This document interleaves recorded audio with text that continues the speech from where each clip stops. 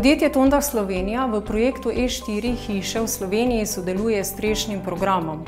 Cilj je bil približati se čim bolj uh, tipični slovenski enodružinski hiši, ob tem pa zadostiti tudi vse E4 kriterije, to so ekonomija, energetska učinkovitost, ekologija in emocije. Streha kot opečna dvokapnica je odlično izhodišče za doseganje vseh teh kriterijev. Streha je konstrukcijski element stavbe, ki je najbolj izpostavljen vplivom iz okolja. Zato mora biti izvedena iz najkvalitetnejših materijalov in z vsemi pripadajočimi sistemskimi rešitvami.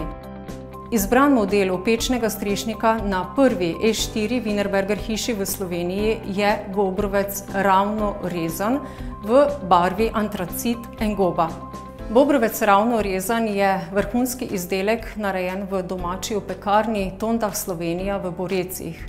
Način pokrivanja z bobrovcem zagotavlja dvojno kritje in s tem še večjo odpornost pred vplivi iz okolja in varnost samega objekta. Pri opečni strehi Tondah so uporabljeni vsi keramični in nekeramični dodatni elementi.